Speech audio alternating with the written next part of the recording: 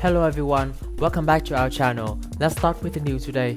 UK to announce major new military support package for Ukraine at NATO and G7 leaders meetings. The United States Kingdom is set to announce a major new military support package for Ukraine uh, at the Na Thursday NATO and the C G7 leading meetings. The support package will include a 6,000 missiles consisting of anti-tank and high-up explosive weapons and a $25 million, $33 million USD in financial package uh, for the Ukrainian military, according to the Downing Street press release on Wednesday. This morning, more than doubles the defensive lethal aid provided to a date to more than 10,000 missiles and comes on top of the 400 million pound. The UK has uh, committed in humanitarian and uh, economic aid for the crisis, the re release read.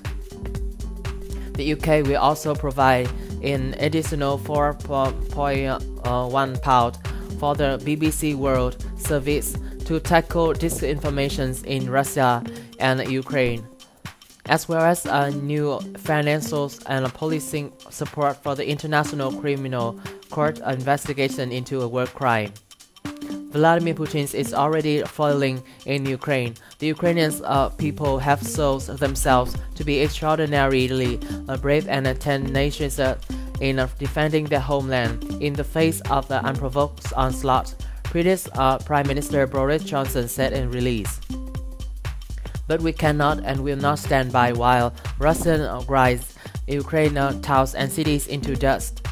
The United Kingdom will work with allies to step up military and economic support to Ukraine, strengthening uh, their defenses as they turn to the tide in this fight, he added. One month into this crisis, the international community faces a choice we can keep the flame of freedom alive in Ukraine. Our risk is being snuffed out uh, across uh, Europe and the world, Johnson said.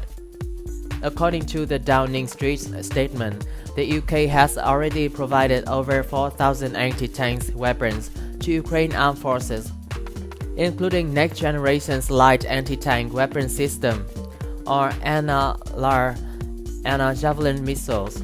The government is also supplying Starstreak high-velocity uh, anti-air missiles to help Ukrainians defend themselves against aerial bombings, as well as body armor, helmet, and combat boots.